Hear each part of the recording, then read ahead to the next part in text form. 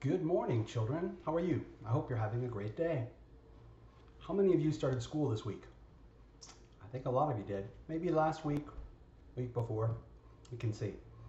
Did anyone have a math class? Hmm. Some people like math, some people not so much.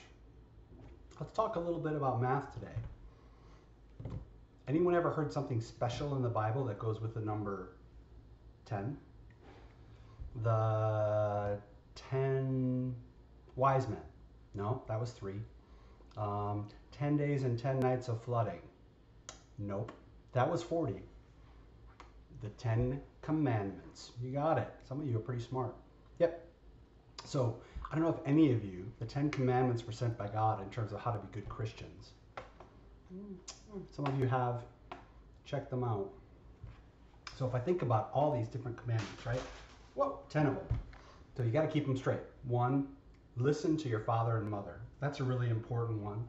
I think I'm going to remember that commandment with a green M&M. I'll put it here in my hand. Okay. You should not steal. That's a good one. Don't steal. I'm going to remember with a peanut. Okay. Uh, how many do I have now? Got two. Got two commandments.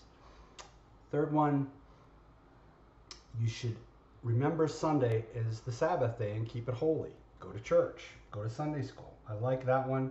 I'm going to use a raisin to represent that one. Okay. One more. How about of these 10? Um, let me look. You shall not murder. You don't want to kill anybody. That would not be nice. Okay.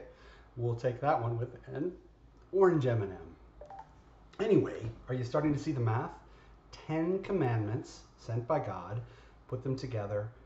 But today, there's a Bible verse from the Apostle Paul which says,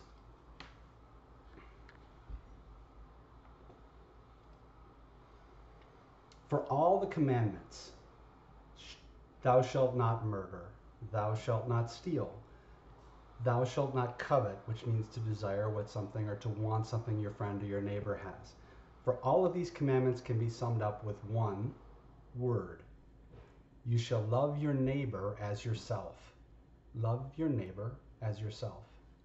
That one commandment is kind of like math.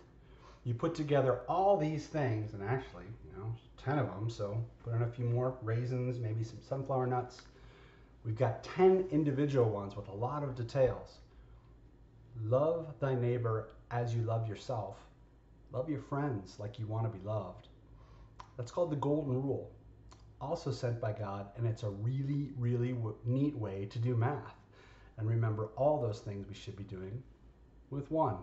And you know what? When you put those 10 commandments together in the one simple thing, like this, hmm, tastes pretty good. Not bad. Will you pray with me? Lord Jesus, thank you for sending the Ten Commandments and making them simple with the Golden Rule. Amen. Thanks. Have a great day.